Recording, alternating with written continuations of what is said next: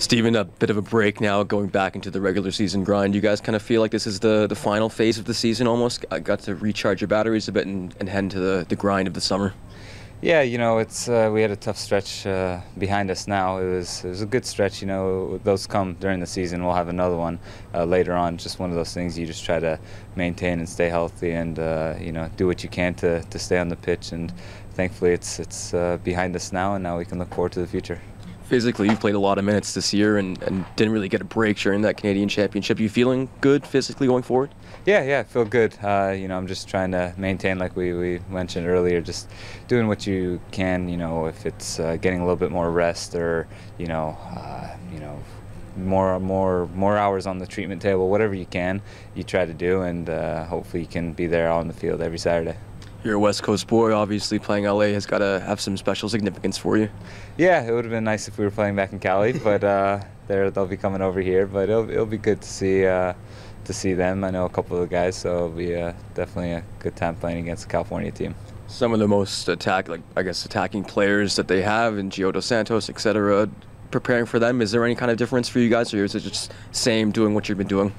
Yeah, you know, I, th- I think uh, the hope was that they'd have a lot of guys missing from Copa America, but they uh, they still have a lot of guys traveling here. So uh, it'll be a fun, exciting match. I don't know if uh, we'll do anything quite differently. They've they've got a good team. They've had a good team for many many years.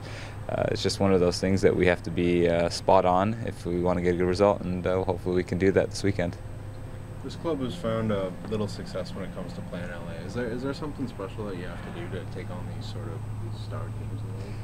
You know, LA is just one of those teams where you can say that about any team playing against them. They've they've been good for a handful of years, and you know it really comes down to, to Bruce Arena and getting the best out of his players, and also the, the type of caliber of players that they have. It's quality you can tell from you know from the goalkeeper all the way up to the forward. There's there's some definitely some good quality on that team. And you know, if you want to beat them, you have to be spot on for 90 minutes. You can't have any mental lapses against them. And you know, every player has to has to put in a really good shift if you want to beat them. So um, it's, it's one of those things where it's it's easier said than done. But uh, I think uh, I think we're confident going into the weekend uh, that we can get a good result, and uh, now it's just time to execute. And do you see any similarities in style of play between Dos Santos and Giovinco? Uh, you know, they're they're both very good attacking players. I think those are probably the easiest choices to say as far as similarities.